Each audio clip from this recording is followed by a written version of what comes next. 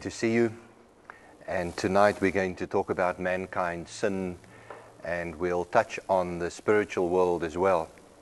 Now, much of what we're going to talk about tonight, we will take back to the Bible, uh, and there are many assumptions in the Word of God.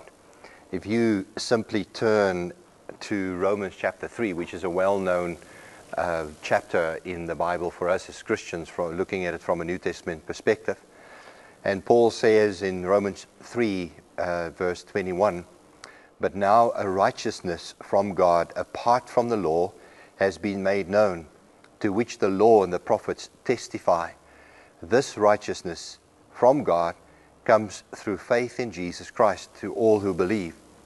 There is no difference, for all have sinned and fall short of the glory of God, and are justified freely by his grace through the redemption that came by Christ Jesus.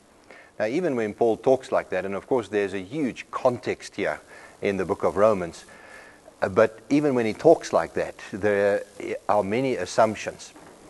One assumption is that we live in the presence of God and that we're accountable, and that we're accountable to God. The other assumption is that we need God and we need God's redemption. The other assumption here is that we are all sinners. In fact, he says that in so many words.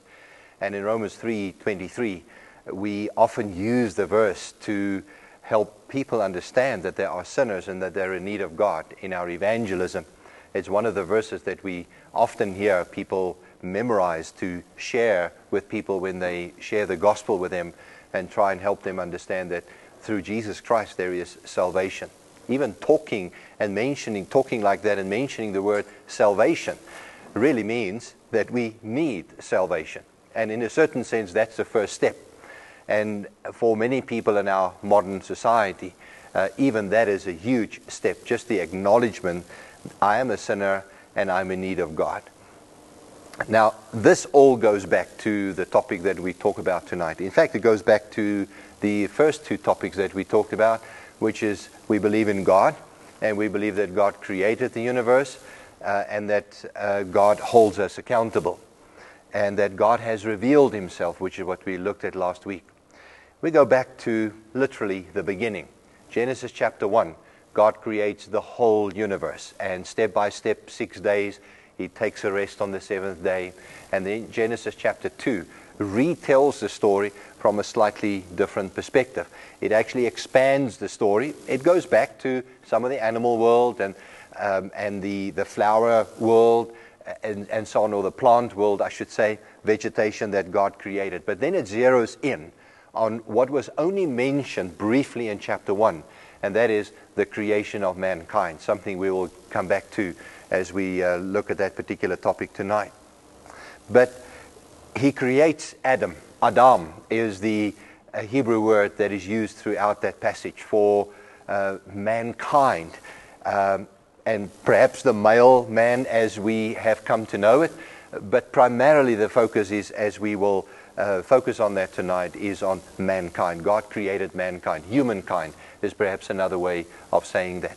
And throughout chapter 2, that is the focus. And God, be- uh, man or mankind becomes God's representative, God's worker in the garden. And God places man in the garden. Doesn't find in the rest of creation a suitable helper for man, for Adam, and therefore puts him to sleep, and then he creates Eve uh, out of that. And it's then that, that Adam says, I have found someone who looks like me, is from my own species, my own bone and flesh, and then using a word which is no longer Adam, but the male version of man is Ish, and then the female version of that is Isha. And so you'll, you'll pick that up. So in Genesis 2, that's the story. And God creates man and woman, male and female, for each other. And um, marriage is at the, at the foundation of everything that we find over there in terms of God creating these two genders for each other. Puts them in the Garden of Eden, which we find in Genesis chapter 2.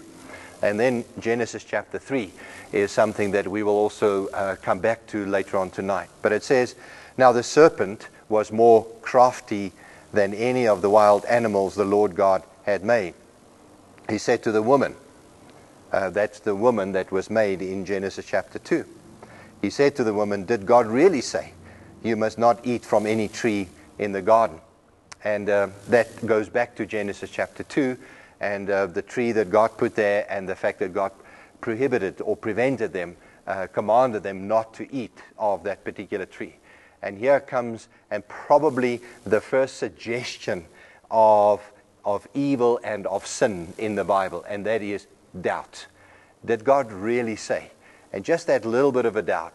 Um, does God really exist? Uh, is something we hear again and again. Will God really hold us accountable? Uh, ultimately, who is God? And then ultimately, there is no God, and therefore I can live my life every which way. And that is the beginning of sin, just casting a little bit of doubt. And then it results in disobedience.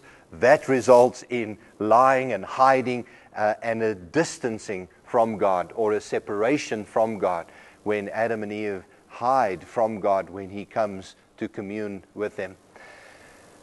I find in chapter 3 two major spiritual truths. The one is the reality of sin and the fall of mankind and the fallenness of the human nature. And none of us can ever say, I have never sinned. And that is why I read Romans chapter 3, where Paul says, everybody is uh, unjust or does not have the righteousness of God. We have fallen into sin. And so sin causes a huge amount of disturbance. Uh, it causes separation from God. It, it brings tension within relationships, uh, and we'll come back to that. But immediately, Adam and Eve are at loggerheads, if you wish. They hide from God. They, they start blaming one another. And, and that's the entrance of sin into this world. And we all suffer from the consequences of sin. And we all sin. And in fact, we'll look at that. We all have sinned and we have sin uh, in our lives. That's the one truth that we need to understand. And you will never, and I will never really understand salvation unless I understand how lost I am. Growing up in a Christian home, in fact, in the home of a pastor, was, was a real challenge for me. This, this particular truth was a real challenge. Uh, my testimony is one of those. I grew up in a Christian home. You know, that's how it all starts out. Literally, I grew up in a Christian home. I often joke and say to people, I was born with the Bible in my hand. I mean, my dad was a pastor. They, they loved the Lord. And they, from when I was little, they taught us to, to fall in love with God, with the Bible and everything else. So at the age of five, I have a memory. I can't remember the exact date or circumstances, but I have a memory at the age of five of actually committing my life to the Lord.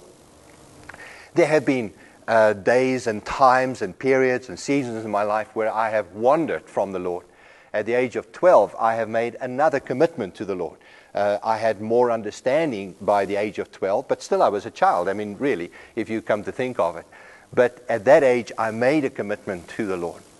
And so, growing up and then receiving a call from God or being con- convinced in my heart that God called me to go into full time ministry.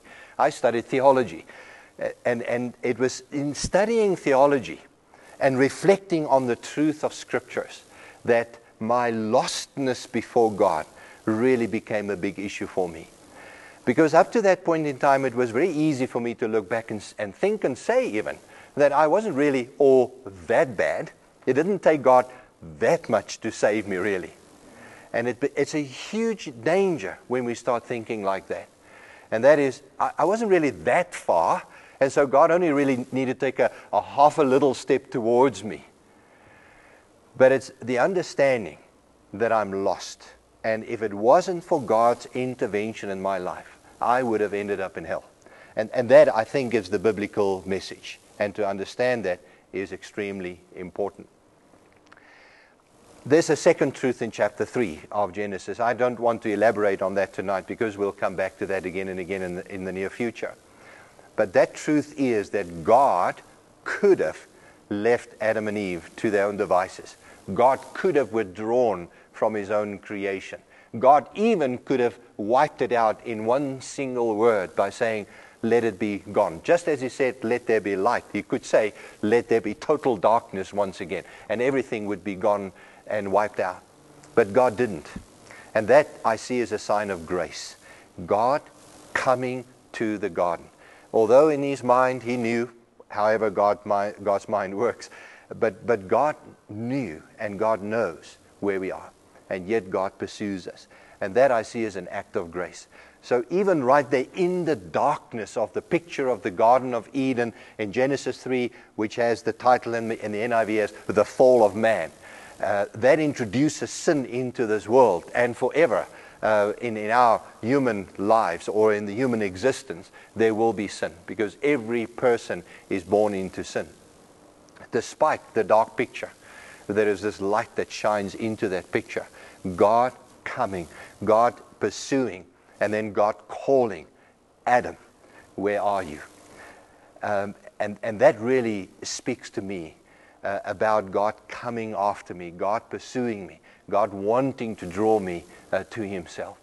And, and in Genesis 1, 2, and 3, in a certain sense, we have almost a summary of the message of the gospel throughout the whole of the Bible.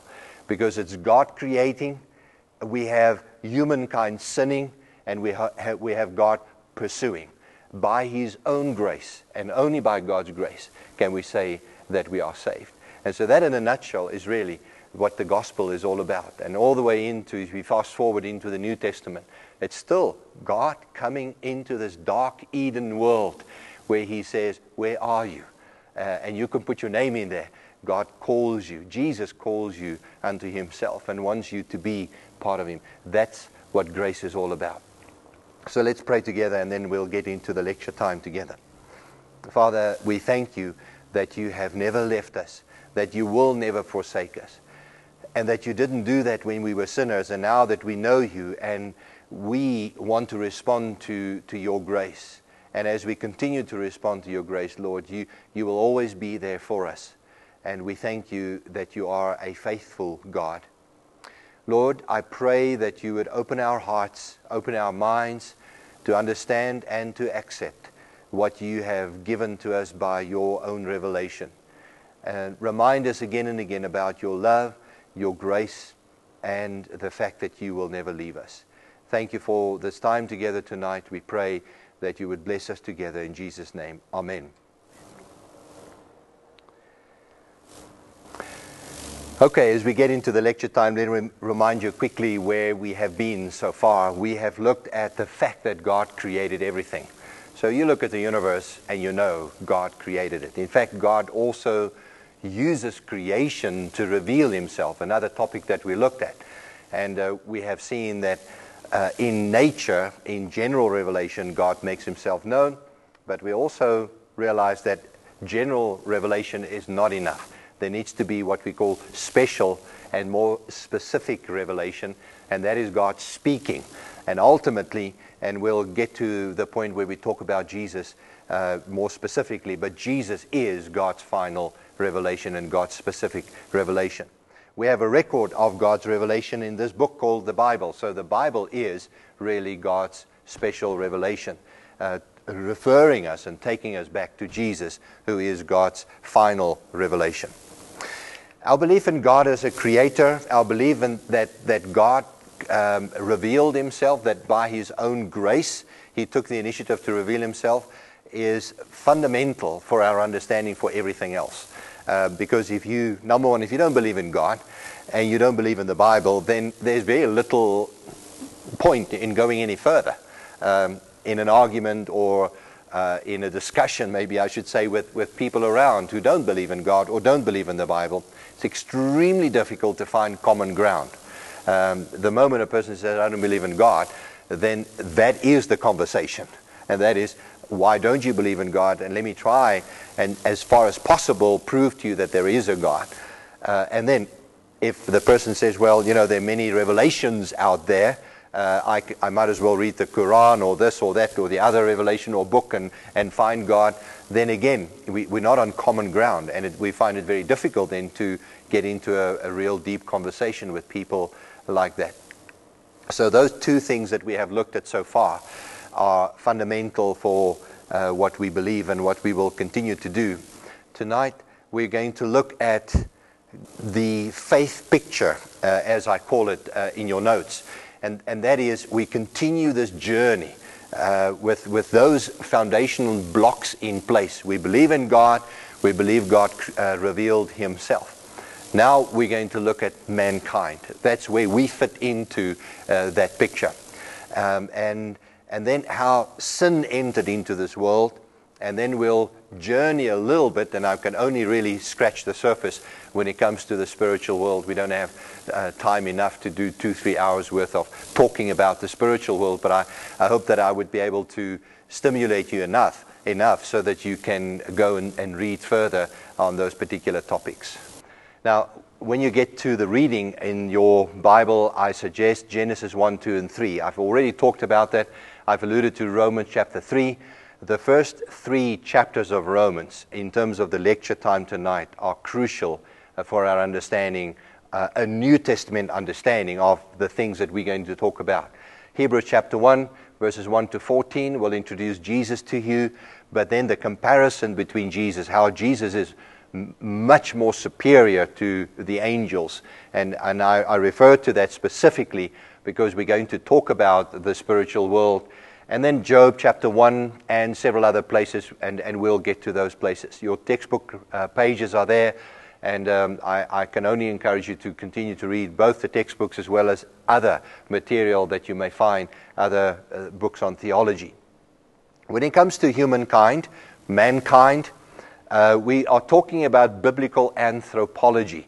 The word anthropology comes from the combination of anthropos, which is the Greek word for man uh, or mankind, mostly man in the male form, form uh, in the Greek, and the word logos, which is a study. And I'm not going to display logos every time we get together, but anthropology is the combination of those two words. In other words, the study of man or the study of mankind.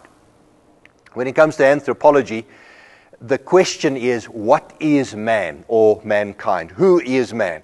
What is the origin? What is the destiny? And, and the word man, whenever I refer to man, unless um, I tell you uh, exactly that that's not what I mean, uh, tonight in this lecture time, I may be referring to mankind. So oftentimes the word man will just uh, come out of my lips uh, or roll off my tongue. Um, but I mean by that, and even if you go to Genesis 1 and 2, uh, oftentimes the word man or Adam in that particular case uh, refers to mankind. Uh, the context in the Bible will tell us whether the reference is to mankind generically or whether it actually refers to man in the male version of that word. Calvin, quoted in Milne, uh, one of the books that I am using, uh, says humanity never achieves a clear knowledge of itself unless it has first looked upon God's face and then descends from contemplating Him to scrutinize itself. Uh, that is just making the same point that I made earlier on, and that is our understanding of God, of creation, and of God's revelation is the point of departure. Uh, and, and that is why studying humanity or mankind or anthropology from a purely humanistic point of view uh, will never reveal everything about mankind. In, in the universities, they study anthropology, and uh, there's a lot that they learn social behavior, language, and um, the culture of mankind, etc. And those things reveal a lot. But in terms of our relationship with God, we're talking about biblical anthropology. And then Calvin uh, is correct by saying that starts with a study of God. Who is God? And then from that perspective, I can begin to understand who I am. So, biblical anthropology has its point of departure in the belief that God created us to fulfill God's purposes. And ultimately, that purpose is to bring glory to God, to reflect God. Uh, and we'll talk about the image of God a bit later on. Looking at Genesis chapter 1, what we learn about mankind, and, and we don't have time to read everything there, but on the sixth day, God created man or mankind from Genesis chapter 1, verses 26 to 30, we read this. Says, Then God said, Let us make man in our image, in our likeness, and let them rule the fish of the sea and the birds of the air. Do you see the, the jump from singular to plural? Let's make man, and let's, um, let's make man in our image, in our likeness, and let them rule. Immediately there's a plural uh, over the birds and, and so on. So God created man in his own image. In the image of God, he created him. Male and female, he created them. Again, there's a plural. Um, and, and the whole context here is, is the plurality of mankind. So the reference here is mankind, not so much m- the male version of man. God blessed them and said, uh, Be fruitful and increase in number, fill the earth, subdue it, rule over the fish of the sea, the birds, the living creatures, and so on. And then God said, um, I give every seed bearing plant on the face of the earth uh, and fruit with seed in it. They will be yours for food. And to all the beasts of the earth and the birds of the air, all the creatures that move on the ground, everything that has breath of life in it, I give every green plant for food. And it was so. So, from this particular reference, we learn much about the creation of mankind. First thing is that the Trinity was at work. Let us make man. And so God, the Trinity, the Father, the Son, and the Holy Spirit, was at work. Humans are created in God's image. Let us make man in our image. We also learn that humanity is going to rule over all creation. And in the term uh, used by many theologians, mankind is the crown of God's creation. Uh, we are so much more than the rest of creation uh, and, and therefore reflect the image of God. Humans are created male and female, uh, two genders. And humanity is blessed by God.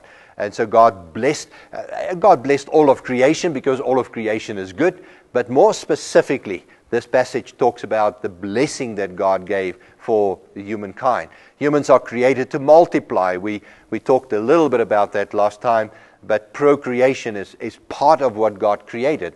Um, and therefore, as much as God can and could have created more human beings, in fact, it is actually a topic of debate and discussion. Did God create more humans, or was it only one, uh, or, or, only the two people, Adam and Eve? Um, and, and that's a, a, a, huge debate among uh, even Christians. And then humans are to fill the earth rule over and subdue the earth. And so there's some kind of control over the earth. And we've looked at, at that a little bit last week. And then in Genesis chapter 2, this story is expanded, as I said earlier on. There's a more detailed description in verses 15 to 25. And from those verses, we learn more about humanity. And you have to read the two together to get the full picture. They are created to work um, and this I referred to last week, uh, work the Garden of Eden and take care of it, take care of the earth. And so we're going to work. Um, and, and that is before the fall. And then they are accountable to God. That is when God tells them, you must not eat of this particular tree. And so they're accountable to God. The moment there is a command, it means someone is in command and others receive the command. Male and female fulfill one another. When Adam uh, saw Eve, uh, and even when God said, I need to find him uh, a helper, uh, the, even the wording used in the Hebrew uh, is very clearly uh, that, the, that the two of them will fulfill one another, that they bring gifts and abilities and personalities and, and abilities into the relationship um, that, that would be left if the person was left single, that would be lacking. Marriage is the basis for unity. God clearly said um, the man, now he is talking about the male person, will leave his father and mother, will cling to his wife, and the two of them um, will be one. And then there was total openness and transparency.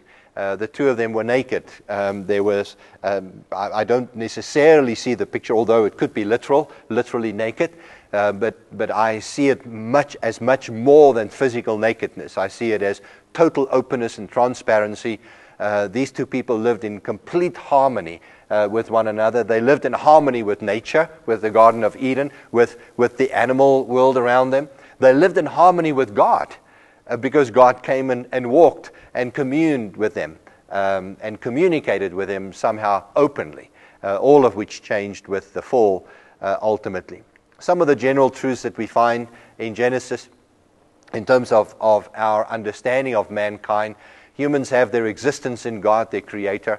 Uh, I, I have my very life uh, from God. It, I depend on God for, for every breath that I take. God's twofold action in Genesis chapter 2, verse 7, points to man's unity and diversity. It says, uh, The Lord God formed the man, Adam, from the dust of the ground and breathed into his nostrils the breath of life and the man became a living being. So the physical part of that is that God took dust, and I take dust to mean the, uh, the particles or the stuff from the, from the earth, uh, not necessarily dust as we, we're dusting the, the furniture, uh, but, but rather the material that, that God created in the universe or in the earth. And out of that, He formed mankind. Um, we know that ultimately when we die, says the Bible, and we know that from experience, not our own experience, but, but seeing how people die and go back to dust. Eventually, they completely dissolve and disappear. They go back to the dust of the earth. So that's the physical side, but there's a spiritual side, and that is God breathed life into this body that He created, and it became the, the man became a living being. Humans are God's special creation. Um, they are the wonder of creation. Psalm 8, um, and this is really only one single reference that I want to use, uh, is, is a wonderful way in, in which the Bible authors always look to this. O Lord our God, uh, uh, O Lord our Lord, how majestic is your name in all the earth. You have set your glory above the heavens. From the lips of children and infants you have ordained praise because of your enemies to silence the foe and the avenger. When I consider your heavens, the work of your fingers, the moon, the stars, which you have set in place, what is man that you are mindful of him, the Son of Man that you, that you care for him? So, on the one hand, it says, God, you are so awesome, and creation is so wonderful. And, and, and when I look at, at how big you are, what is man?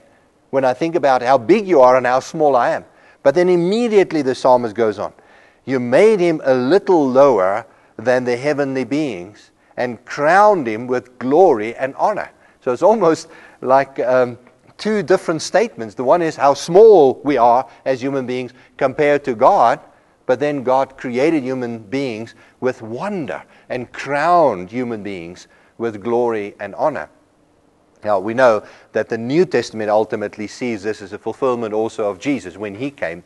But I believe if, as you read Psalm 8, uh, Psalm 8 can also be applied to uh, just human beings in general.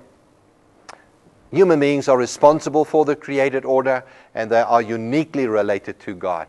Uh, that concept of the image of God uh, in us. And that's really what I want to talk about a little bit, just talking about what it means when we, when we refer to created, that we are created in the image of God.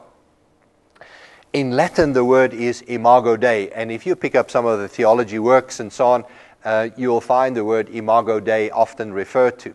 Uh, it's just become a very common reference among theologians specifically. And, and I told you at the beginning that I may just uh, refer you to and explain some of the theological language that we use uh, in these particular topics.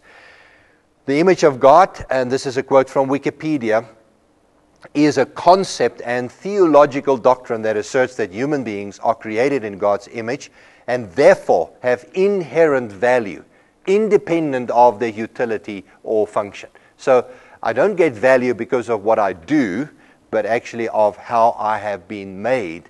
Because I'm made after the image of God, I have inherent value. It is this truth that sets mankind apart from the rest of creation the, the lion, as big as it is, as part of the big five, or the elephant, or the crocodile, or the mountain, or the ocean, uh, those things have value. They, they reflect something of God and God's creative powers, but they don't reflect the image of God as human beings reflect uh, the image of God. The nature, what, what does it mean when we talk about this image of God. Imago Dei does not refer to God's physical features. And, and that's the one thing that I immediately need to get out of our minds, and that is that we look like God physically. We don't look like God. Uh, we often, in our human uh, language, we, we talk about a, a child who's a spitting image of his dad or something like that. This is not what we mean when we talk about, when the Bible talks about uh, the image of God. God is spirit, and we cannot behold God's or look at God's physical features. Even Moses, as close as he was to God, was not allowed to see God physically. Uh, he was only to see God's glory from behind. Now, mankind was created with many features or qualities, characteristics that are similar to that of God. Human knowledge, and I have the emphasis here on human but the fact that we have knowledge and that we can increase knowledge separates us from the rest of, crea- of creation. Uh, a mountain is a mountain. Now, you can look at the, uh, and there's no real increase in knowledge or ability on the part of a mountain. Uh, and similarly, the ocean. Now, when you look at, at animals or birds or the animal world, perhaps you can argue that they have some kind of a knowledge. But primarily, animals are driven by instinct. Um, we have a little weaver, a yellow weaver in our garden, and year after year he destroys my garden for material, building materials, to build the nests up there, uh, and then he plucks out every little uh, leave around those nests, and I have to rake them up. I, I, I, this, this, bird and I have a real battle on in my, in my garden. Um, but it is by instinct. I can, I can see it because the nests look exactly the same. They face the same direction. And year after year, he goes through the exact same ritual. Human beings can change. We change venue, we change in knowledge, we change in looks, even. Uh, we grow up, we, be, we mature. Um, and in that sense, uh, we are different from the animal world. We have a moral awareness, whereas to a large extent, the animal world has no moral awareness uh, moral perfection, uh, creativity, social relationships. And again, some of that is reflected in the animal world, but not in the same way that humans can do those things. God created humankind upright, perfect, um, without sin. Not perfect as God is perfect. And, and perhaps I should say it at, at this particular point that even in heaven one day, although we say that we will then live in perfection, it will be a world as perfect as God intended it to be. But only God is perfect. So even in heaven one day, we will not be perfect, perfect. We will never be as perfect as God. Um, and so we need to understand that, um, that, that we have a, a, an, an, uprightness or an, up, a righteousness. Uh, we, we were created without sin, but we weren't perfect right at the beginning. Adam all mankind was given lordship over the earth to subdue it. Uh, he walked or uh, communed with God and therefore had some kind of a fellowship and was in harmony with God. And initially, Adam knew no sin, although he was capable of sin. And we need to make that distinction as well. He had no sin, but he, he had the capability uh, to sin, as can be seen from the fact that he was given a command. Otherwise, he, if he had no capability of sinning, the, the command would make no sense whatsoever. And therefore, God put the command there, and that ultimately became a test and also the downfall for mankind. A quick little word about the image of God in humankind in general. In other words, uh, do sinners and people who, who don't know Jesus, do they have the image of God in them? Ultimately and essentially, the answer is yes.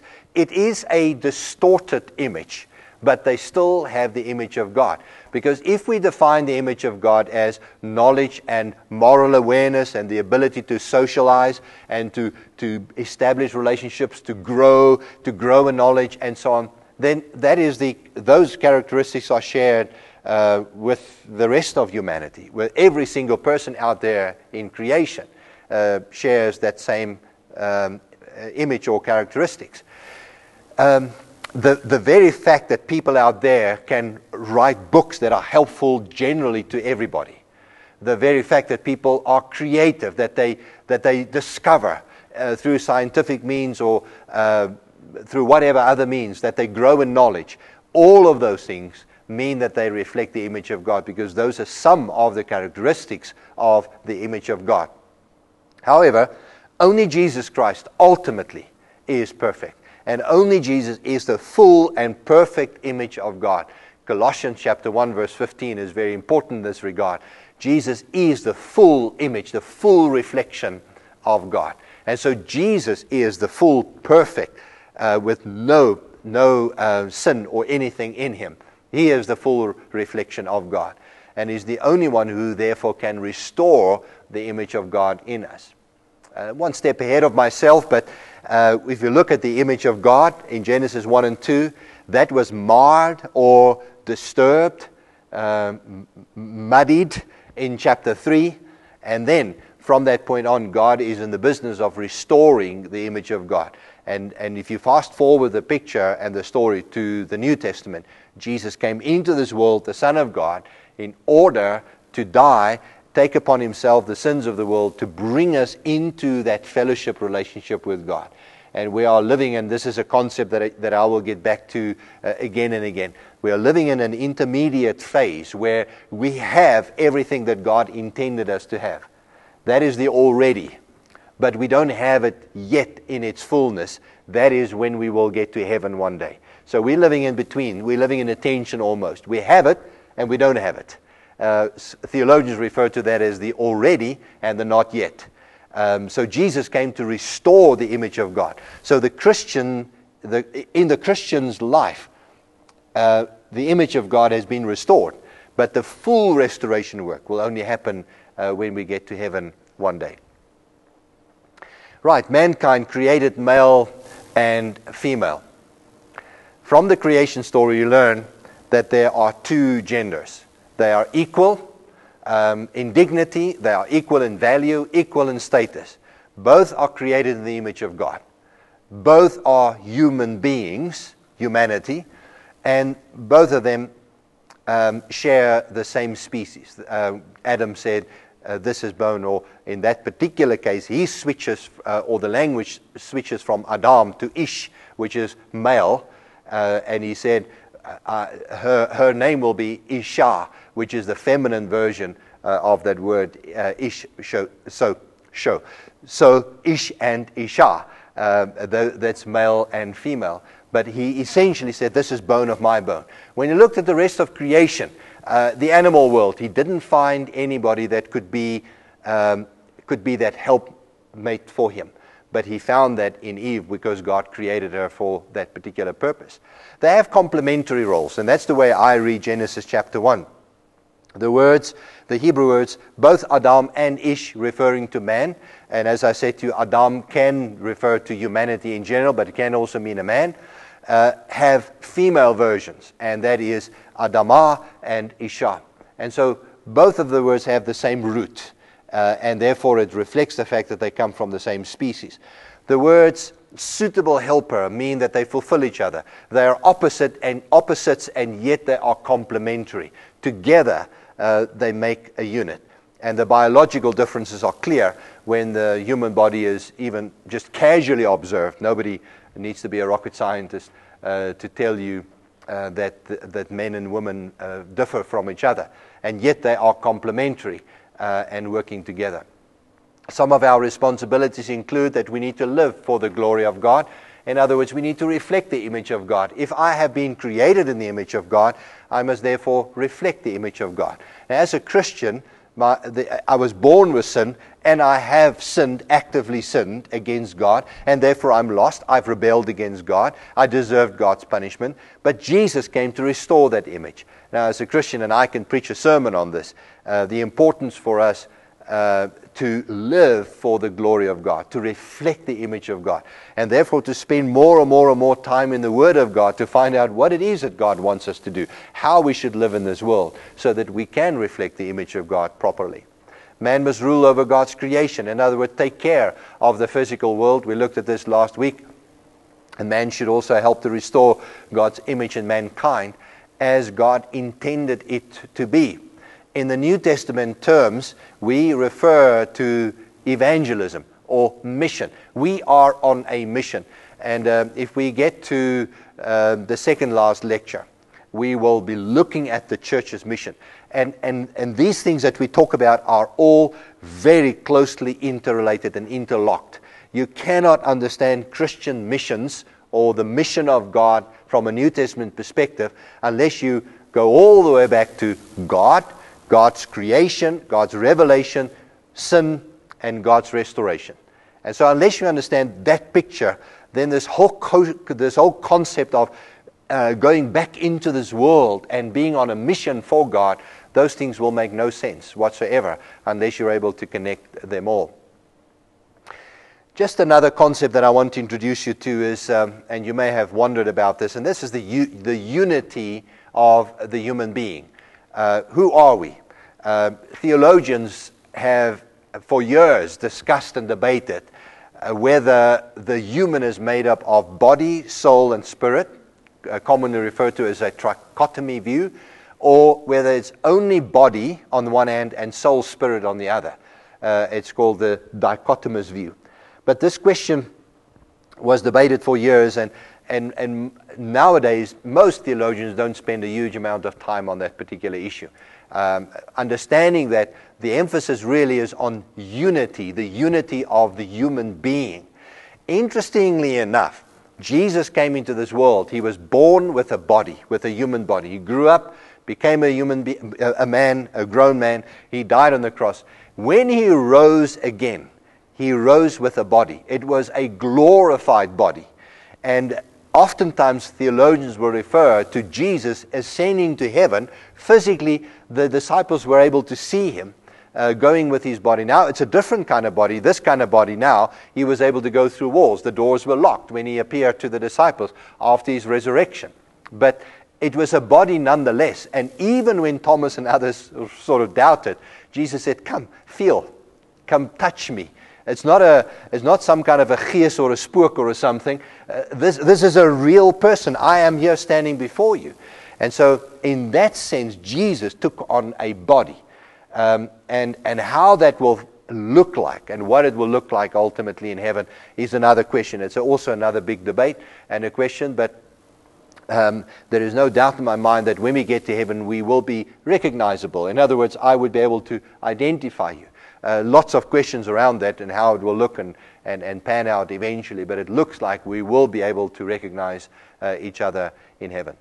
Now, that's just the unity of the body. So, whether we talk, whether you believe that we're made up of body, soul, and spirit, or body and, and some kind of spiritual side to us, uh, there's no doubt that we have the, at least those two. Uh, and then, as I said, some believe that it's made up of three different parts. Uh, one way or the other, I don't think it make, makes a huge amount of difference. Some of the common errors in the uh, uh, belief about or the study of anthropology humans are simply highly evolved animals. We looked at the, the teachings of evolution last week briefly. Um, there, there is no doubt in my mind that the Bible teaches that God created mankind in his image. And therefore, it is not just uh, a millions of years sort of evolving into ultimately becoming the image of God. I believe God created human beings whenever that happened, he created human beings and he created them in his own image. And so, in that sense, you can't be a total or a complete evolutionist. Only Christians have the image of God. Now, I've already answered this particular question, and, and that is uh, a belief that uh, it's only when you become a Christian that you really have the image of God. Now, what is true is that Jesus came to restore the image of God. But the image of God is present in every single human being in, on earth. Um, and I've already spoken about that. It's a broken image. Uh, it's, not, it's not a perfect image of God, but it's, it's, it's a, uh, the image of God nonetheless. And then Christians can't sin because Christ restored in them the image of God, is another false doctrine or a false belief. Um, the Bible is very clear, the New Testament is clear that Christians sin. Unfortunately, I wish it was true that once we become Christians, we will never sin again. But all of us here know that we sin, and the Bible is clear that we do sin, but we do have someone, Jesus, who is our Redeemer and also our intercessor with God. And when we do sin, then Jesus is able to uh, represent us with God. Now, that leads us to the whole concept of sin. And the big word here is hamartiology. And the word hamartio means to sin. And so the study of sin uh, is often referred to in theological terms as hamartiology. Hamartiology. Genesis 3 is the picture that I've already um, begun to paint a little bit uh, in the past. As beautiful as that picture was, God created the whole universe, then He rested. Uh, this story is retold how He created, expanded upon. Uh, human beings are created, Adam and Eve. They're in the Garden of Eden. They are happy. Uh, they're in communion with one another, with God, with creation. It's, it really is a wonderful picture. But as beautiful as that picture is, Genesis 3 introduces us to the fall of humanity into sin. Before the fall of Adam and Eve, um, representative of humanity to come, they lived in perfect conditions in Eden and in perfect harmony with creation, with God and their Creator. But when they succumbed to the temptation and they fell into sin, they introduced and represented the problem that is the assumed reality throughout the rest of the Bible. So you, you can't understand anything beyond Genesis 3 unless you understand Genesis 3. Genesis 3 says that sin entered into this world. From that point on, the rest of the Bible story is about this sin, rebellion against God, God pursuing humanity, and God providing salvation. And so, even as we continue our journey, we, we talk about Jesus, we talk about the church, we talk about the Holy Spirit in the next few weeks. This is the assumed reality in the Bible, and that is there is sin. The biblical picture is a perfect one uh, in two chapters. The rest of the Bible is um, the one about the fall and the reality of living in a fallen reality. It's God, by His grace, therefore, reaching out into this world. Um, and I use the word to fix the problem. The problem is sin. And God has pursued us and continues uh, to pursue us uh, to fix this problem of sin. In the Old Testament, it refers to a future reality when God will finally and fully restore everything. Again and again, the Old Testament refers to that. As far back as, as Abraham, who will be a blessing to the nations, Moses, who talked about a prophet like me, whom God will raise up, the seed of David, and, the, and then the prophets again and again talking about some future reality where people will be in harmony with God, where the heart of stone will be removed. It will be replaced by a heart of flesh, where true circumcision will not be an outward act, but, but an inward um, reality. Uh, all of those things refer to God dealing with, uh, with sin, the temptation, the fallenness of humanity, and how that will be restored. Now, all of that happened in Jesus. When Jesus came, he did it in perfect conditions. He was the perfect priest and sacrifice, bringing us into a relationship with God once again. The Bible story then ends with the book of Revelation, which again is a bit of a, a reach into the future. It tells the story. It tells salvation, the salvation story, but it reaches into the future and it paints a picture of a future reality where heaven and earth will combine. There will be a new earth and a new heaven, and God will dwell among us, and there will be perfect harmony. And if you wish, God will then come again in the cool of the day, and He will be with His people uh, because there's now complete restoration and there's complete harmony. Right now, we live in this intermediate period between, between the reality of sin in this world and, and uh, the desire to be in perfect conditions with God, to live in Eden, the Garden of Eden. And it's interesting when you read the book of Revelation how many Old Testament images are referred to in that book. Uh, not, not least important the fact that it reaches back to the Garden of Eden picture of God being present. There is no temple. There's no need for a temple. There's no need for sacrifices because it is a perfect uh, place. It is a perf- those are perfect conditions, and God is there communing with His own people. And the nature of sin, the Bible uses different words for sin. The literal translations uh, sometimes give us a bit of an idea.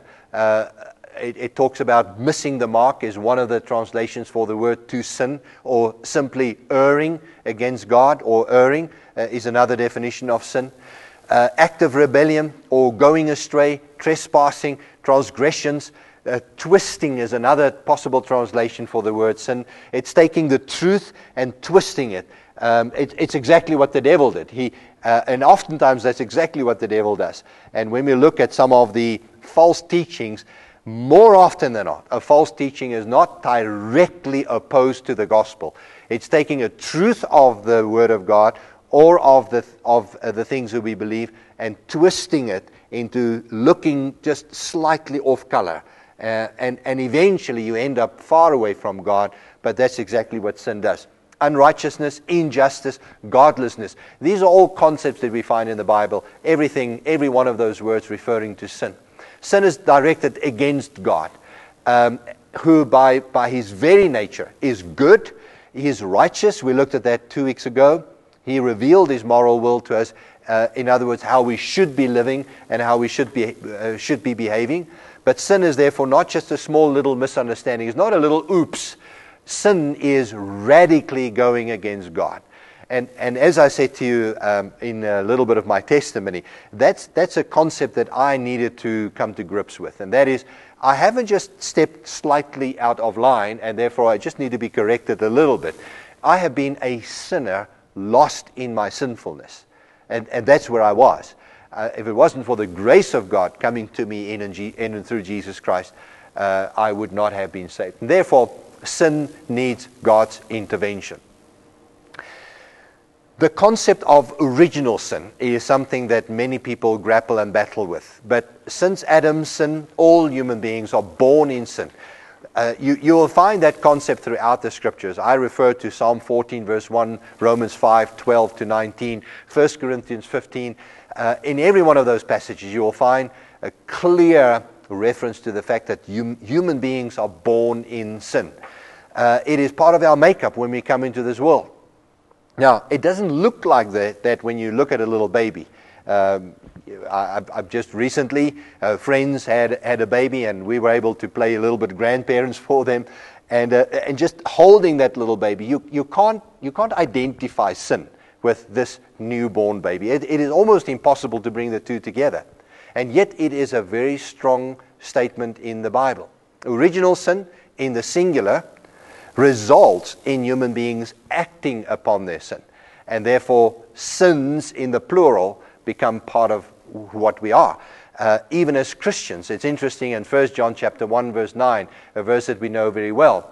Uh, if we confess our sins in the plural, he is righteous and will forgive us, uh, by way of a, a, summary of that verse.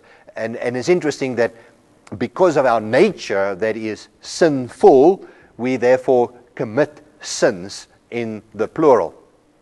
It doesn't take long for a new baby, that same very brand new baby that I'm talking about, newborn baby, it doesn't take long, uh, a year, two years, three years, and naturally, by instinct almost, they start um, uh, doubting, telling lies. Um, no, nobody taught them how to do those things because they're beginning to act upon their sinful nature, which is part of what we call original sin. Jesus came to deal with original sin. So when he died, he, he died for the original sin. So potentially, when people accept Jesus, when, when, when they become Christians, their original sin before God, my guilt before God, is taken away. I still have a, a sinful nature battling with my spiritual, my God given Christian nature, says Paul in Romans chapter 6 uh, and 7. And, and the two are battling with each other. So I constantly have these uh, uh, doubts and problems and issues that I deal with sin in my life. And I constantly need to go and ask for, uh, for forgiveness. What is the extent of sin? Well, the introduction of sin affected the whole human race, and it still affects every single human being. Christian, mature Christian, a long standing Christian, doesn't matter. Every single one of us deals with sin on a regular basis. And the effects are universal. There is no escape. Every person out there in the whole world. We are not born um, as clean slates and we live somewhere, and if nobody bothers us, we will eventually just be okay, don't worry about us, sort of thing. It doesn't work that way. We are born in sin and we are affected by sin. Sin also affects every part of our human being. Um, our very existence, our intellect, our emotions, our motives, hearts, actions. And theologians refer to this as total depravity. I am totally depraved of God's image and God's glory every part of me, my, my whole psyche, my whole human being, every part of me is affected by sin. Uh, we are totally depraved. Sin affected the rest of creation. We live in a fallen reality. Uh, goes back to Genesis chapter 3, blaming one another, uh, no longer in harmony with nature. And now we're going to work in sweat. Uh, we will have children in pain. And, and so it goes on and on. Every part of humanity has been affected. The whole of creation has been affected.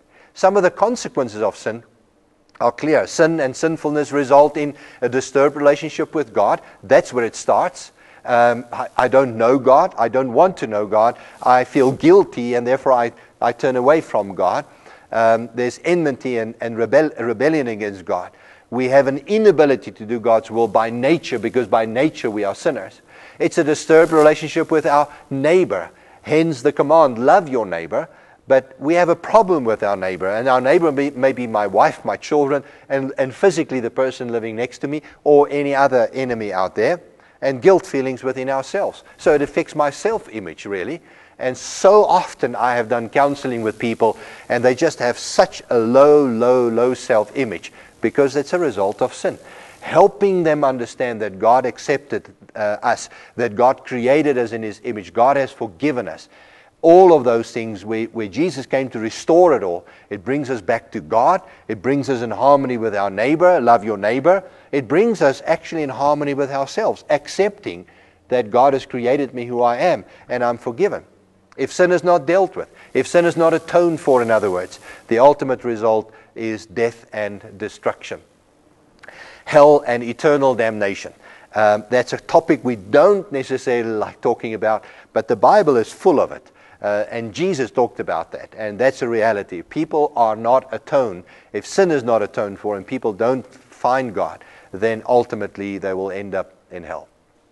Some of the debates among Christians include several things. What happens to babies when they die?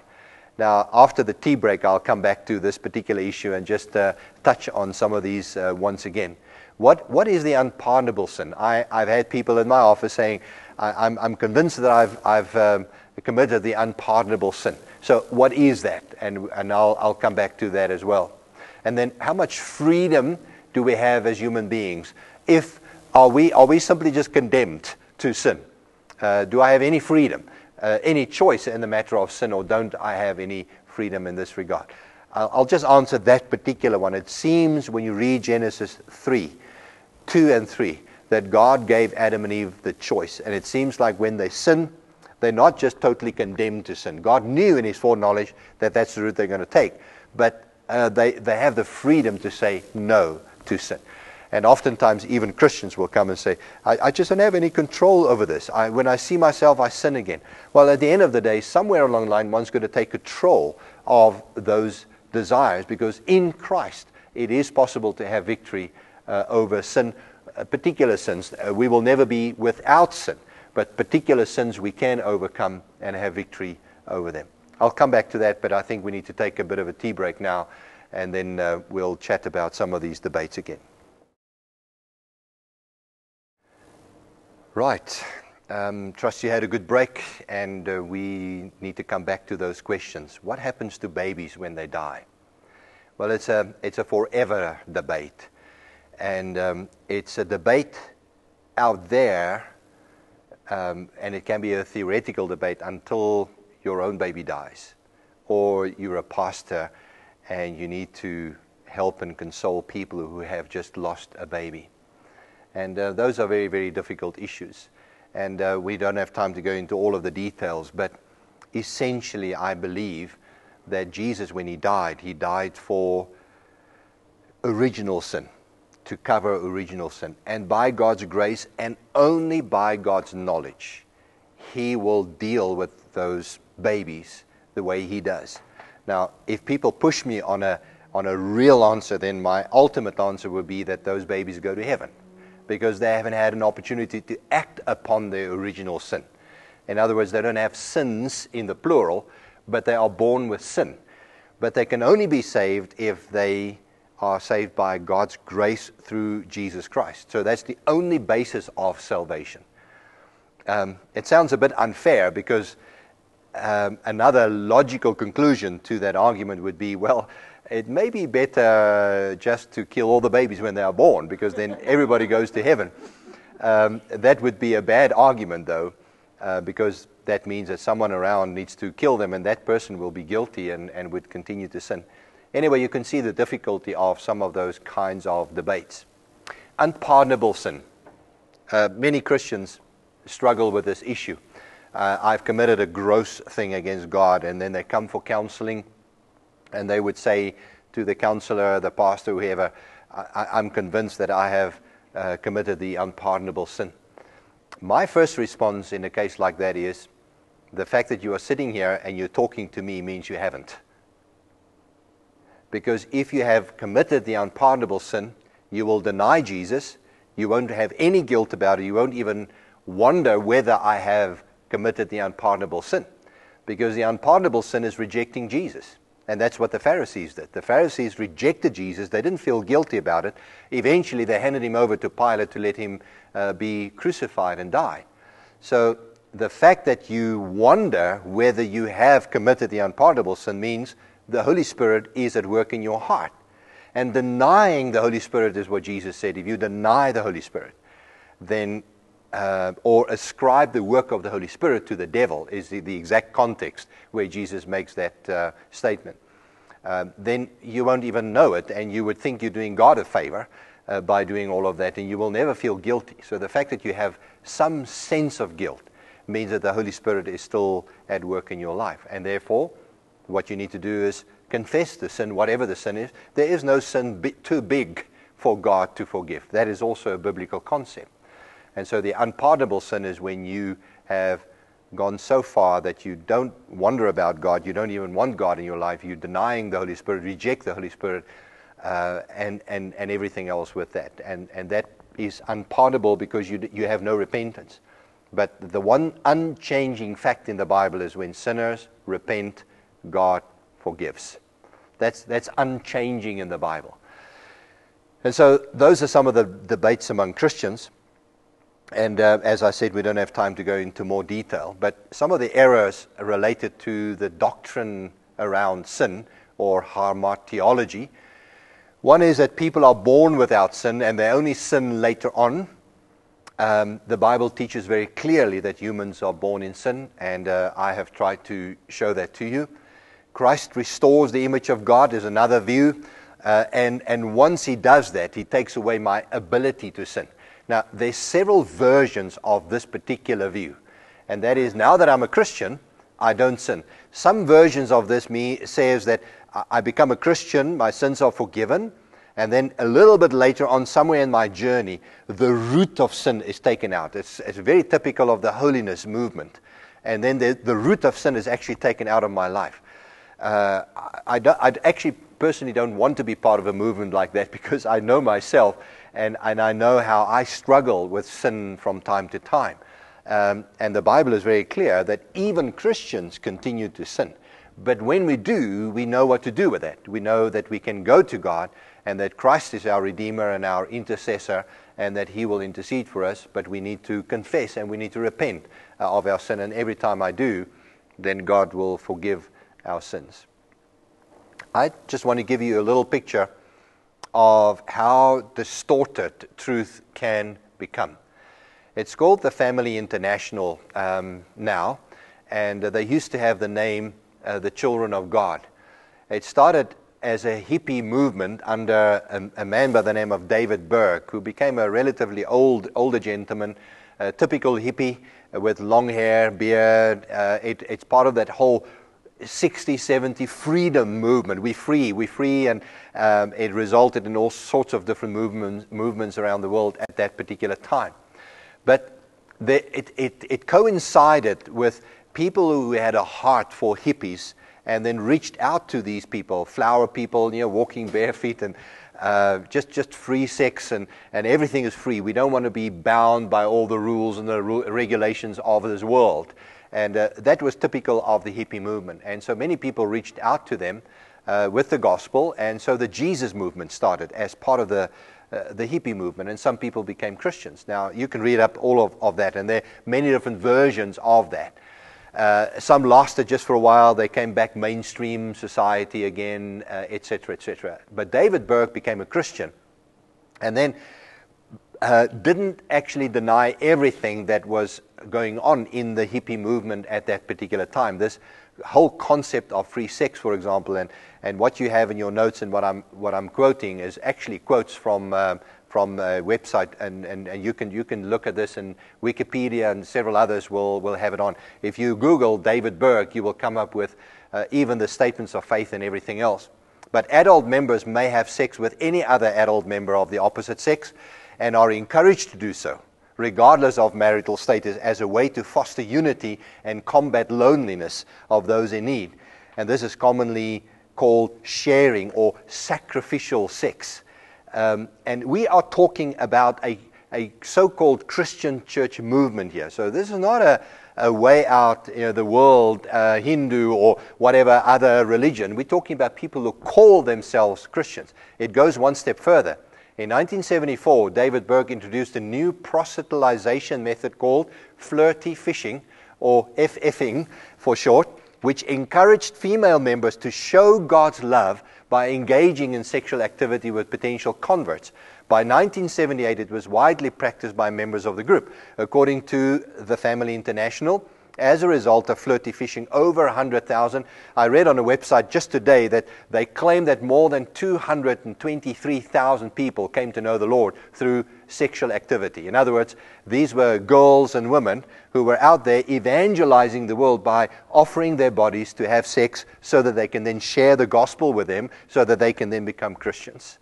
Um, so, this is how distorted it can become. And, and I want to say to you again, we're not going to study other religions in this particular course. I wish we had more time to look at other religions. We're not here talking about other religions. We're talking about distortions of the Christian faith. And I, I will show to you over time more and more of this kind of example. It may be a, a fairly radical example, but the reality is, and this I want to say to you, that year, two years ago, a year and a half ago, a young girl started coming to our church, and she came out of this movement. She was drawn into this movement with a, a, a little pamphlet that was given to her at a shopping mall right here in Johannesburg. And um, she was drawn to it because this is not what they tell you when, when they start. The, their statement of faith is probably 95% like any other churches. And there's one clause, and it is part of their statement of faith. They have now left the flirty fishing thing. They, they stopped that in the, I think, late 80s. They no longer do that. Uh, so they no longer promote that. But they're still around, they're still international, and so they're operating right here in South Africa. But they do encourage people to get release of their frustrations and emotions by having sex with different partners around within the movement. And, and she left the movement when, when that came to light and uh, obviously something just hit her in the face. But it wasn't initially the way they promoted themselves. It was simply a pamphlet, and she started attending. And then ultimately, uh, when this thing came to light, then she, she um, had a big fright, and she left uh, the group and started coming to us. But I actually saw the pamphlet, and then I went online and looked up their statement of faith. As I said to you, if you read it, 95% we're in agreement. It's that 5% that results in stuff uh, like this. Okay, that is um, humanity and humanity in sin. So we've looked at anthropology, biblical anthropology. We've looked at hamartiology. Now we're going to uh, just change focus slightly as we look at the spiritual world. It's a, it's a concept that is probably uh, a question mark in our minds. How does it all work? Uh, we talk about the study of angelology, the study of angels, or demonology uh, which is the study of, of demons or the devil. Spiritual beings in Scripture are a reality. They, they simply assumed. Uh, there's no description of this is how God made them and this is how the things developed in the spiritual world. In fact, it is a world, if I can put it this way, out there that is beyond our physical touch uh, and our ability to see physically and to be physically part uh, of that. Although it is a reality that is around us, it is not something that is tangible uh, to us. But God's creation is not limited to the physical world. Up to this point in time, my illustrations have always been uh, uh the, the mountain and the ocean and the human body, and you know, it's mostly tangible things because that's the world that we live in uh, on a day-to-day basis. But there is a there is a, a non-physical realm, a spiritual realm out there that we are all aware of, but we don't live with that reality every single day. Not, we, we don't think about that necessarily every day. But there are many, many references in the Bible, uh, too many to enumerate over here, but references to the spiritual world and spiritual beings such as angels, spirits, uh, even spirit in the, in the singular sometimes.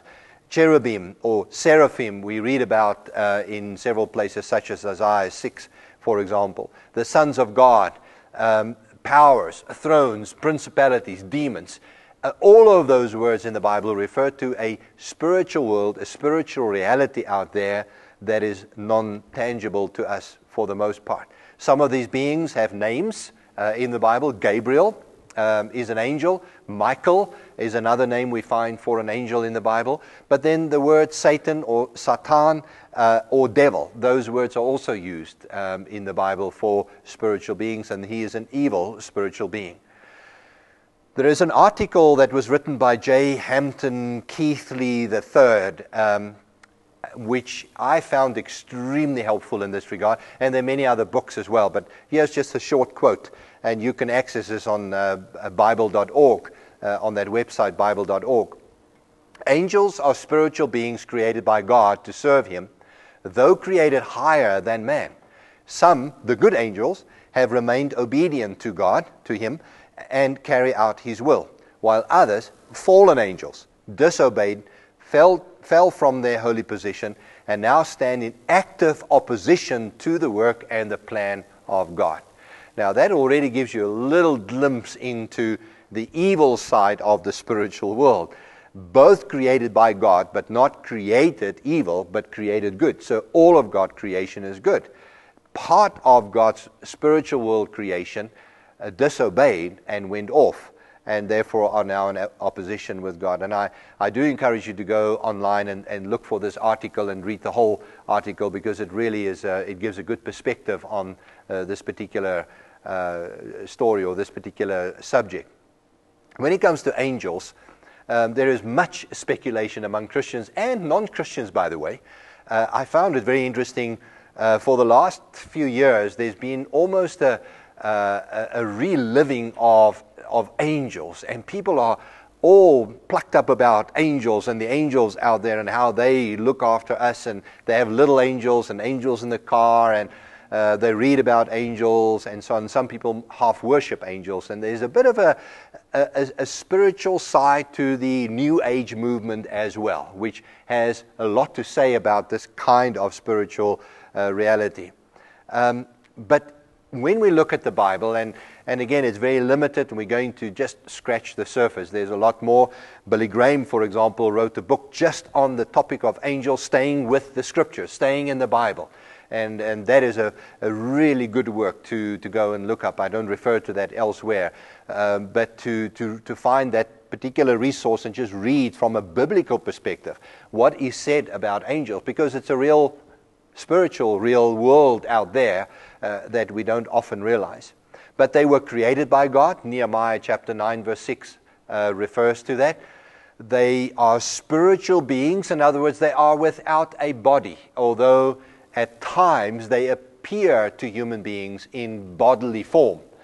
Um, some people, some Christians and other people, sometimes claim that they have seen an angel, but what they normally refer to, we have a friend uh, who got stuck on an airport once and someone came and helped her um, and, and put her up in a hotel even for, for a night and so on, uh, paid and, and then disappeared. Uh, disappeared as in whether she was too tired to see where the person went uh, or whether it was an angel. I mean, she still today claims it was a real angel. Whether that's true or not, um, you know, who will know? Uh, oftentimes, uh, those angels appeared and they, they looked like human beings. Abraham saw three human beings, three people walking towards him towards uh, his, his home. He went out, greeted them, put some food before them. As time progresses, as the story continues, they turn out to be angels, and one of them actually turns out to be God. And, and so it is possible for an angel to appear in a, in a bodily form, but then there are times where they just disappear like that. Uh, some of the announcements about birth, for example, in Mary's case and so on. She clearly saw an angel. She knew bright light and everything else. Other times it's a very normal, human type looking situation. Um, and whether that's an angel or not, um, in our day we won't, probably won't know. But they are uh, God's warriors and often referred to as God's heavenly host. Um, and God, Jesus, for example, could have called millions of angels to come and help and fight this war uh, if he wanted to. We get the, the impression that angels are waiting and they are ready to serve God uh, any moment and every moment of every day, uh, if they even have days uh, where they are. Uh, they are servants of God by doing God's will. They, they serve human beings. In other words, they serve God's creation. Hebrews chapter 1, verse 14. They have moral judgment and intelligence. They have the ability to sin. Otherwise, if we don't believe that, we're in trouble with where the evil spiritual world came from. So God created everything good, but some part of that spiritual world, world fell into disobedience uh, and now oppose God. And 2 Peter chapter 2 verse 4 says exactly that, and that the uh, spiritual or the angels sinned against God. Uh, there seems to be some form of order or rank uh, among them. Michael is referred to as an archangel. Whatever that means in terms of the economy of the spiritual world, we probably won't be able to figure out exactly anymore. The opposite to angels, uh, we find the demons. Demons are evil angels who sinned against God and now continually work evil in the world, says Grudem in the little booklet that, that we are using. Uh, and there's a lot more in, in not only in that booklet, but in the other books written uh, on theology about the, the demon world. They were part of God's original creation, which was very good. Quoting uh, Genesis chapter 1, verse 33, we have to take that as God, everything in God's creation was good but they fell into sin. Jude, verse 6, refers to the angels who fell into sin. And, and that is um, a, a similar reference to that what we find in 2 Peter. And that must have happened before the fall of mankind. In other words, before Genesis chapter 3. Where, when, uh, beyond time, before time, before light and darkness and day and night was created, uh, it must have happened somewhere in eternity, uh, the point of which we can no longer uh, determine. But we know that because it is the devil taking on the form of a serpent uh, who came and uh, tempted Eve in the Garden of Eden in Genesis chapter 3. How and when they rebelled against God, we no longer know. Satan. Satan is the personal name for the head of the demons, again quoting Grudem in this regard. He is also referred to the devil uh, Satan as the devil. He is called the serpent, uh, or takes on the form of a serpent in Genesis 3. He is called Beelzebul, uh, the prince of this world in John chapter 12, verse 31, the ruler of the kingdom of the air in Ephesians 2, verse 2, and, and simply the evil one in Matthew chapter 13, verse 19. In the Bible, he's known as a murderer. He is the father of, the lie, of lies, says Jesus. He sinned from the beginning. Uh, he is the deceiver. He is the great accuser of the saints. We find him in, uh, in Zechariah accusing Joshua the priest before God. He appears before God. Now, that's a comfort to me uh, because he's accountable to God. He's not just out there running uh, on his own without God being able to control him. But even in Revelation, he is called the, the accuser of the brothers. And so he is there to accuse us before God. Um, in terms of, of, of, our experience, the way we normally refer to that is uh, in the sense of spiritual warfare. We're in a battle, says Paul in Ephesians chapter 6. Non Christians are blinded by Satan. Uh, they have little or no knowledge of God, and the devil certainly intends to keep it that way, which is why we're in a battle. When you do missionary work or evangelism, or you share the gospel, the light of Jesus Christ with another person, immediately you engage in spiritual battle. It's immediately a battle between uh, light and darkness, um, which is why oftentimes you share the gospel and you're up against a wall, a brick wall in front of you. Uh, and, and people just don't see. Paul expressed his almost frustration with his own people, the Jews, because they, they weren't able to see. They, had, they were veiled. It's like, like they were just blinded. It's, it, I mean, how can you not see that Jesus is the Messiah sort of argument? And yet they can't. And somehow it seems like the devil is able to keep this veil over their eyes, to keep them blind, so that they don't ultimately see God and see Jesus. Christians, uh, that's the world out there. But Christians also engage in a battle. I, I already referred to that when we share the gospel purely. I mean, uh, where, simply I share the gospel with another person, there's a spiritual battle going on. Because there's a, a battle for dominion, uh, a battle for allegiance, uh, where a person who doesn't know Christ is serving, serving the devil, whether they like it or not. Now, there is an extreme version of that, and I'll come back to that later on, but that is Satanism, where people say, I believe in Satan, I believe he is God, and I want to serve Satan, and therefore I'm going to do sacrifices and going through rituals and everything else. Uh, Satan is my head or my boss. Now, that's the extreme version of that. But my good neighbor, uh, good looking and well behaved neighbor, who simply lives his life with no, no thought to God or Christ or anything, but he doesn't serve Satan either. Um, my, my, good neighbor actually is under that allegiance. He is, he is serving Satan somehow or the other because he doesn't belong to God. And in that sense, and, and this is a quote from, from 1 John or summarizing 1 John, there is, there's only black or white. There is only either you belong to the devil or you belong to Christ. There is no neutral ground somewhere in between. And that's another lie of the devil, is that there's neutral ground. You know, some people are just okay, we just need to leave them alone, and, and somehow God will just help them and they will all be okay in the end. Actually, they're not okay. If they don't know Christ, they belong to the devil, to the dominion of darkness. The, the Bible is clear, the picture in the Bible is clear that uh, we belonged to the dominion of the darkness, and by God's grace, He took us out of darkness into his marvelous light is the quote. Christians, says Paul, fight this battle. Ephesians chapter 6 is one of the probably most well known uh, passages when it comes to spiritual warfare. And, and he says it's a spiritual battle. Uh, Satan's intention is to mislead, to tempt, to entice Christians to sin against God.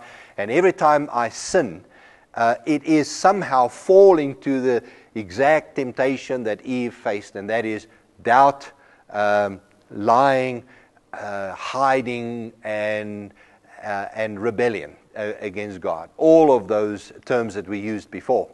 There's much debate and also practice among Christians as to how spiritual warfare should happen. And, and now Christians go in all sorts of directions uh, when it comes to to what extent do people um, fight this de- de- demon world? Uh, and, and when it comes to demonology, especially, uh, to what extent are people possessed by the devil and the driving out of demons, which is what Jesus did and some of the apostles did, and the church has been doing uh, through, for 2,000 years. But to what extent do we engage in that? And, and, and um, to what extent can Christians be possessed by the devil? And the debates around that go on, and the practices around that also go on and on. The most important thing to remember is that as Christians, we belong to God and we are serving Jesus Christ. And it is in Jesus that we have victory. And so, my normal philosophy is I don't go and look for the devil ever. Uh, he will look for me, he will find me. I don't have to go and look for him. So, even in, in ministry, which I do full time, I don't go and look for where and how or, or when a person may be demon possessed. It, it will reveal itself.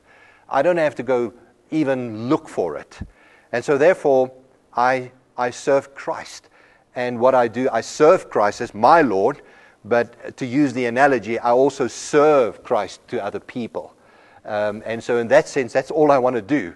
And if there is a demon, and if there is any satanic or de- demon, demonic activity in the other person, it will come out. It will show itself. In which case, the only thing that I can do is run to Jesus because Jesus conquered the devil. That I know for sure. In fact, it's not even an equal battle. We know that the devil has been defeated. And therefore, it's not a, this, this battle between darkness and light is not an equal battle. The light has already conquered. Uh, God is already the victor. Jesus already conquered the devil. And, and so he's, a, he's fighting a losing battle, but he's fighting nonetheless. Jesus came to break the power of darkness and to restore us uh, uh, in us the image of God.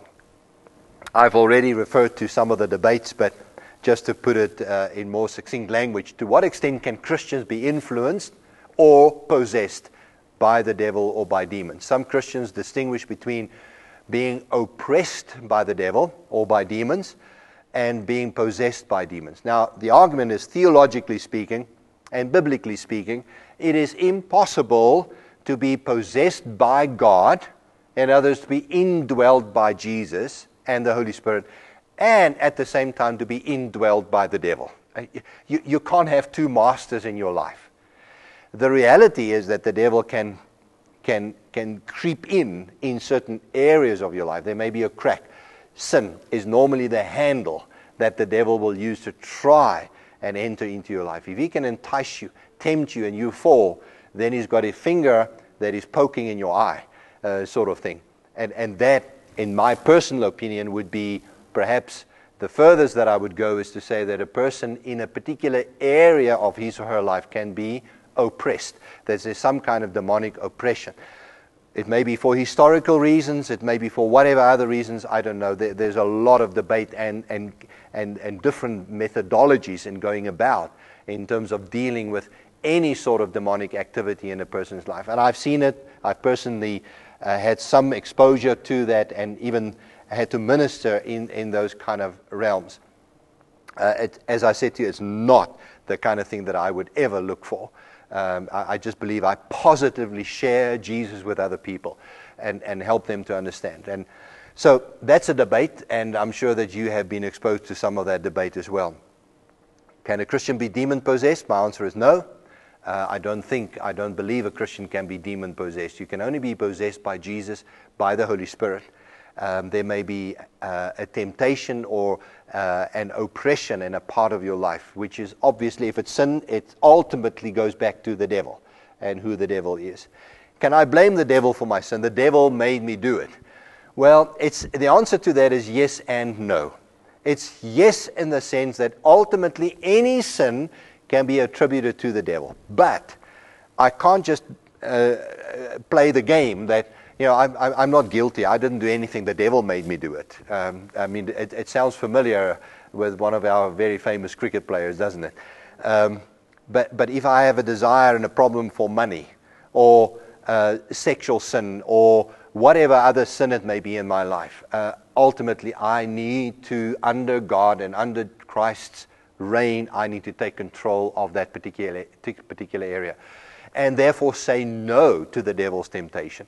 Uh, it's not the devil. I, you know, it's not like he's taking my hand and he makes me steal stuff. Uh, I, I'm stealing it. I need to own up to whatever sin I'm committing. And so, in that sense, the answer is no. Not the devil who made me do it, but ultimately, sin can be attributed to the devil. What are some of the dangers that we need to avoid? Extreme views is one thing that I want to highlight as a danger in this particular area. Whether we talk about angels or demons, we talk about the spiritual world. Um, we can deny the spiritual world and say, no, no, it doesn't exist at all. Then, then we deny a huge chunk that is there in the Bible. I mean, it's there. Angels, demons play a role in the Bible, in, in God's economy, if I can put it that way. But then sometimes people get so intrigued by it that we, we stand in danger of either worshiping angels and give them more space, more uh, honor than is due to them. Uh, John in Revelation tells us at one stage the angel was there with him, uh, helping him to see whatever it was. And, uh, and John fell down and he wanted to worship. The angel said, No, no, you don't worship me. You, you worship God. I'm just a servant. I'm just here to help you. And so the angels are there to point us to God. And so we, we don't worship angels. And when people get so intrigued and drawn into that world, uh, eventually they stand huge danger of, uh, of getting so engrossed in that world that they take their focus away from Jesus. So I would encourage us to look at Jesus. And the same thing with the demonic world. Um, uh, I, it, it is a, it's a world that you don't go and have a look for. Uh, I know even very solid Christian ministers who have done uh, and dealt with a, a, demon possession on an ongoing basis, and eventually they become oppressed because it's a very, very dangerous world to get involved in. Which is why I'm saying to you, I, I just want to live with Jesus as my focus all the time. Uh, if there is something that comes my way, again, I run to Jesus as hard and fast as I possibly can. The other danger that I want to highlight is speculation. Um, and it's speculation about what is happening in the spiritual world. The Bible doesn't tell us every detail, it tells us enough, just enough to know, um, enough that we can know God, that we can know salvation through Jesus Christ, uh, and we probably don't have to know a, lot, know a lot more about that. But there's a real problem here, and that is when people begin to base their belief on experiences. Uh, it's very similar to near death experiences about heaven. I'll talk about that sometime later on, but it's a sim- similar kind of thing. And that is, I've had this experience when I was a non Christian. Um, the devil and I had demons, and they spoke to me and they told me how what it is like, and there's a certain order among the demons. And, and, and now I begin to build a whole belief system around my experience.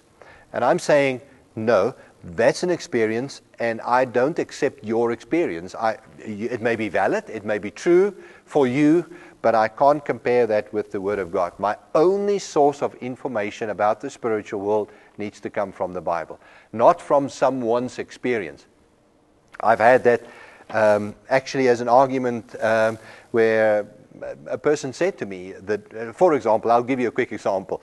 The devil stole all the music, and as Christians, we need to go and, and, and take the music back. And I said to him, where, where do you read that in the Bible? No, no, no. There was an ex Satanist who, who became a Christian, and, and this is what he told them. And I said, Well, it doesn't stand in the Bible every, anywhere. Uh, and the devil has a reputation of lying anyway. So I won't believe him. Uh, even if someone says to me in so many words, I, I won't believe that anyway. So. Uh, it's, it's so, so dangerous to follow experiences. And then treating the devil as God's equal. I've alluded to this before. Let, let me give you an example in prayers, for example. Have you heard this kind of prayer? Lord Jesus, we praise you because we are here tonight and um, we, we want to worship you. And devil, we rebuke you in Jesus' name. Uh, in Jesus' name, amen. What has the person just done in that prayer? Put the devil equal in these prayers or her prayers with Jesus. I'm, I'm speaking to Jesus and I'm also speaking to the devil. Actually, I have no right to speak to the devil. I, I don't want to even speak to the devil. I, I don't want to talk to him. Uh, we may talk about him. Uh, he's a real being, a spiritual being, a dangerous one. And therefore, I want to stay as far as possible from him. I want to stay as close to Jesus as possible. And so when I, when I encounter the devil, I, I, I, don't see him in my mind as equal to Jesus. I, I see him as, as, a, as subservient, as, a, as someone who is under the authority of God, which is why he comes crawling into the throne room of God. And why he does that and why God allows that, I don't know. But I do know that he's there. That's what Job tells us, that's what Zechariah tells us. But he reports to God. So uh, that to me is a wonderful comfort, as I said to you before. And so I, I, I, revel in that. But Satan and his demons, although more powerful than humans, and therefore you and I don't, don't fight them bare. We, we never do that. Uh, we, we go to Jesus and we say, Lord Jesus, you take care of this problem. Um, so I, I, I'm, not, I'm not doing that directly. So we base our belief in and our theology about the spiritual world only on what we read in the Bible and not on our own or someone else's experience. Some of the errors related to demonology Satan worship, um, it's real. Um, it's, it's not just a little uh, thing that someone dreamed up somewhere. People worship the devil. They physically, Satanism exists. And so we've got to be aware of that. But of course, God is the only one worthy of our worship.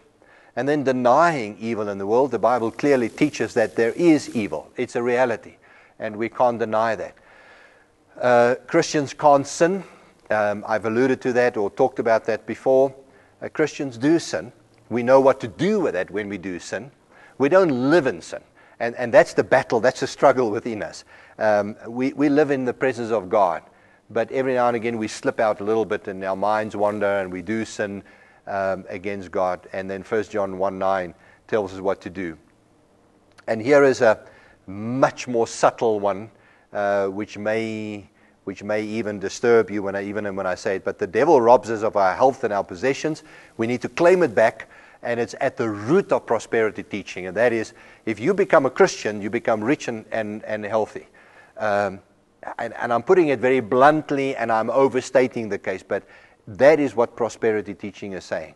If you're a Christian, you need to now claim your wealth in Christ and, and, and you'll become rich.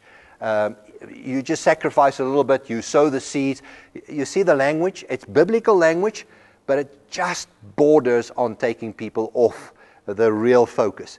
The Bible is full of people who were poor and sick and suffering. That's reality in the Bible. And so the roots of prosperity teaching is once I become a Christian, then everything will be honky dory. Now, I can have a logical argument about, not even a biblical one. If that is true, then we won't have any non Christians in this world. Every non Christian out there will be poor and sick and struggling, and all the Christians will be healthy and rich, and, and, and, uh, uh, and, and there will be no sickness and, and anything else. So just pure logic should tell us that that is not, it's simply not true. And then reality, you, you do the, the maths. You look around and you see in the world how many Christians deeply, deeply committed to the Lord Jesus Christ. And, and they suffer either illness or a problem or uh, they poor or live in poverty because of their economic situation or whatever other situation. Now, in the context of tonight's teaching, what I need to say to you is that we live in a real fallen reality. Every day, we are faced with that every single day. And therefore, we do get sick, as Christians even. We, we do suffer uh, sometimes by losing our jobs. And Christians, through ages and even now in certain parts of the world, are being persecuted.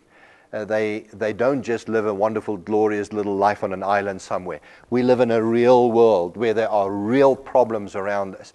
Those problems are a result of what we talked about tonight the fall of mankind in Genesis chapter six, uh, 3.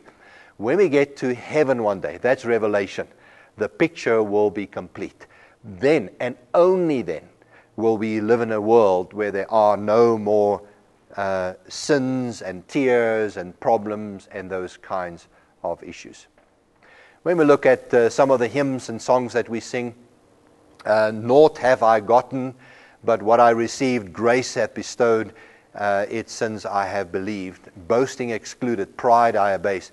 I'm only a sinner saved by grace. And this is a building block. What, what we talked about tonight is a building block in terms of where we go when we talk about salvation. You can't understand salvation unless you know that you need to be saved. And so that's where we're heading.